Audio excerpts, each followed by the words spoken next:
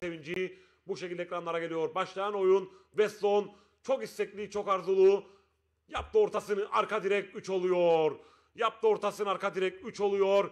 Golün ismi Osman Şan verdiği dakikalar 84. Skor 3-0 oluyor. Peş peşe goller önce Weston sonrasında ise Osman'ın golleriyle 3-0'a geliyor skor. Doktor